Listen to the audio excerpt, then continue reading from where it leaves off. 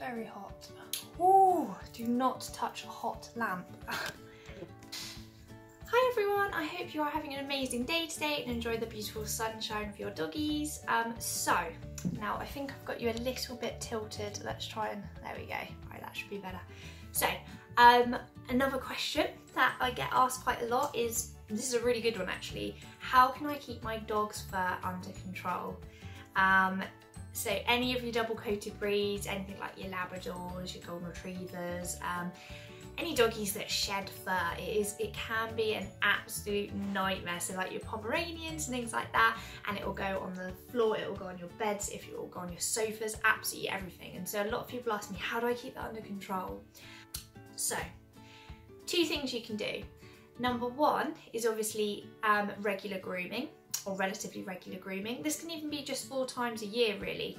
Um, and what we tend to do as groomers is we will rake out that undercoat. So all of that dead hair that's falling out everywhere, 90% um, of that will be stripped out, okay? And that will be with um, any form of uh, sort of dog grooming rake.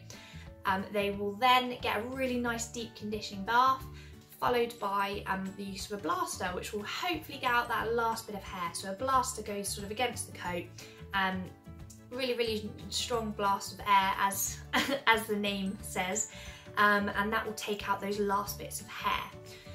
This will leave with a really, really nice, soft, silky coat, really easily manageable, and hopefully a lot less hair everywhere.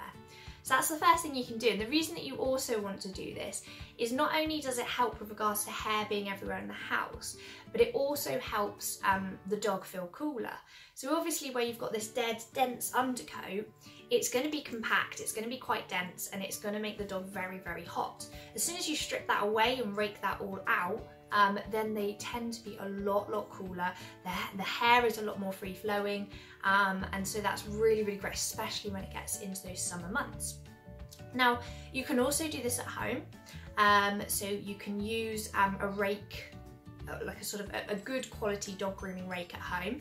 You've got to be careful not to put too much pressure because you don't want to um, make the coat sensitive and make it uncomfortable for your dog. So it's great if you're sort of watching TV or if you, I'd probably advise maybe going outside, you don't want all the hair in your house. Um, but I'd probably sort of eh, pick a nice day, go in a cool area and just sit there and you're just gonna rake out that dog's coat. It, oh sorry, it can take a couple of hours. Um, so that's why a lot of people will also go to groomers as well because um, it can take quite a long time.